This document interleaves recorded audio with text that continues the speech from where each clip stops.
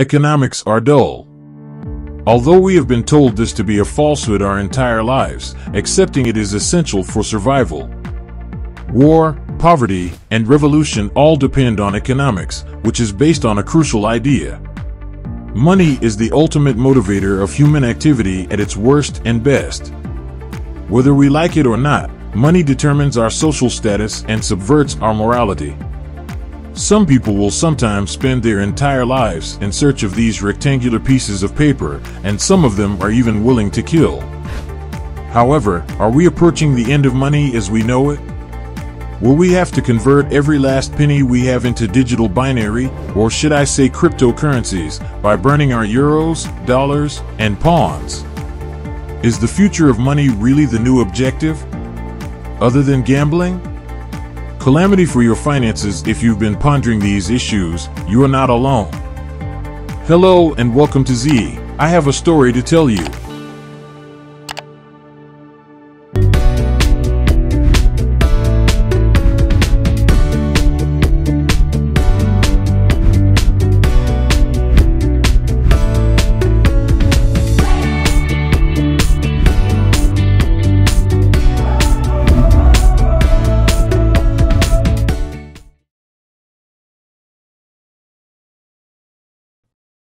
What money is doing for digital currency, it is transforming transactions and doing away with banking. Cryptocurrencies are always in the headlines. There are record-breaking price increases every other day, and your coworkers can't stop talking about them. Not a week goes by that they do not. Your pals want you to make an investment. How do you balance the benefits and drawbacks? The issue is that you don't know where you're investing your money. The majority of us lack knowledge of money and its managing, which is a life skill. Beyond the basics of computing, we were not taught anything in school about money, therefore today we will attempt to comprehend it. If you are concerned that we will get too technical, do not be. Let's start with comprehension as it is all in simple English. Three fundamental ideas cryptocurrency, blockchain, and Bitcoin exactly what they imply here are a few brief explanations. As with the name of one sort of currency, the euro, Bitcoin is the best known cryptocurrency. It is digital, decentralized, existing solely as computer code, and it is the first cryptocurrency. Explain in a moment. For the time being, the second definition of cryptocurrency is that it functions as a means of exchange for Bitcoin, much like bills and coins do for dollars and pounds. Data encryption, or crypto, basically guarantees the security of transactions. As you may have heard, having your messages encrypted makes them secure. Cryptocurrency also uses encryption to protect its data, but unlike debit and credit cards, it is the only form in which it is available. Blockchain is the third definition. It is the technology that makes cryptocurrencies possible. Consider it similar to a computer file that saves data, but one that is shared among a large number of machines and is not specific to Bitcoin.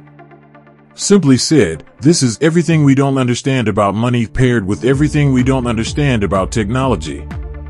Crypto blockchain has many, many uses, and this is only one of them. Now, if you do not understand it, do not lose your mind, the majority of people do not. And studies have revealed that barely 1 in 10 and 1 in 3 people are aware of how bitcoins operate. Cryptocurrency investors themselves know very little to nothing about it. For example, no one even knows who created Bitcoin. It has been in use since 2009, but the identity of its creator or creators is still unknown. Over the years, many people have claimed to be or have used the name Nakamoto, but it is still unclear whether it is one person or a group of people. However, what Nakamoto did was address a possible problem with digital banking called double spending. Let me give an example. If someone spends $10 on a sandwich, for instance, they cannot spend that same amount of money elsewhere. However, when the same amount is paid digitally, some people can manipulate systems and spend the same $10 more than once, which is known as double spending.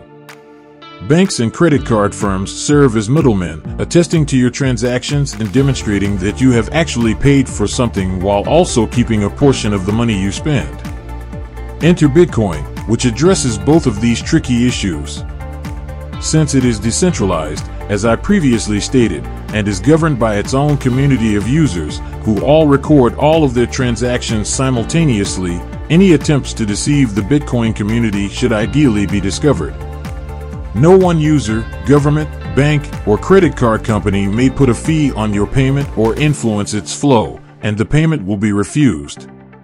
Additionally, Bitcoin is claimed to be immune from the impacts of inflation and currency depreciation, which sounds wonderful, doesn't it?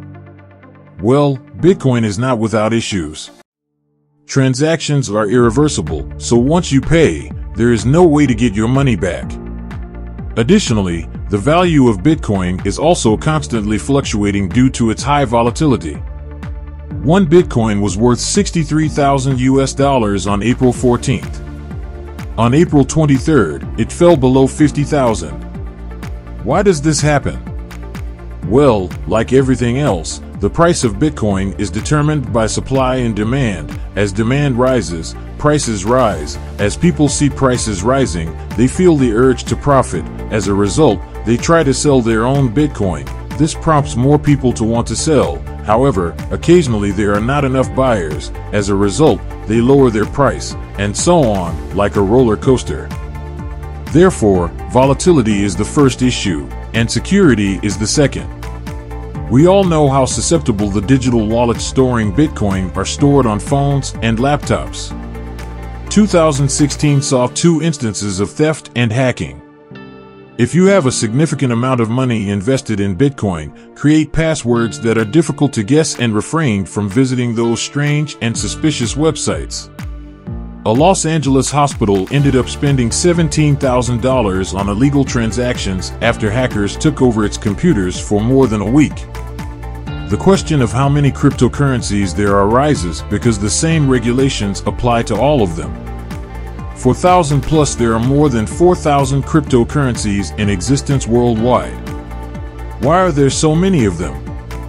The main software required to create a crypto is open source, which essentially allows anyone to create one. Examples include Litecoin, Namecoin, Peercoin, Gridcoin, Ripple Prime Coin, Order Mazer Coin Stellar, and this Dogecoin. When two software developers created this cryptocurrency in 2013 as a joke, they used the image of a dog. Their intention was to make fun of how people would invest in anything, and guess what? People did exactly that. Due to the usage of hashtags and social media posts by Dogecoin enthusiasts, the market valuation of the cryptocurrency reached more than $50 billion on April 20th. This made it more valuable than Ford and Marriott. This episode is both humorous and fascinating because it illustrates the times we live in, in which online advertisements can have an unexpectedly significant impact on the market. Dogecoin is worth $50 billion because people think it is worth $50 billion. You know what they said about? In an age where parity may become a valuable asset, the strength of your beliefs may have been the cause. Similar circumstances apply to Bitcoin, which is valuable because people concur that it is valuable. Consider how much these $1,000 shoes that have been stained with human blood are worth. Why did its maker, who, by the way, had a perfect right, believe that someone would pay $1,000 for such shoes? Since there are no more of these shoes available. What does this indicate? that the great majority of those who invest in cryptocurrencies are merely doing it in response to the hype about governments. These nations accept cryptocurrencies. The UK is developing a project called the Britcoin, but Russia does not accept cryptocurrencies. China reacted harshly to it, but then changed its stance, now referring to it as an alternative investment. Although cryptocurrencies are not recognized as legal tender in India, some people nonetheless choose to invest in them because their peers do. The basic line is that digital currency is the way of the future. There is no question, but if you invest, you must understand that you are also gambling, and if you are willing to bet, you must also be willing to win or lose. For more information about cryptocurrencies, like and subscribe.